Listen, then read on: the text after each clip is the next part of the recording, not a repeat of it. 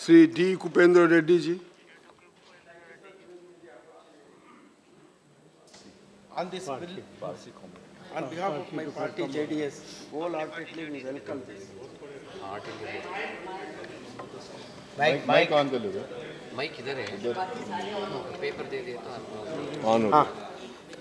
respected sir on behalf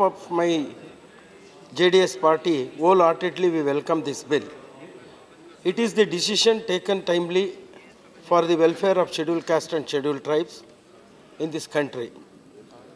I am sure it will pave way to the further development and progress of the people belongs to SC and STs.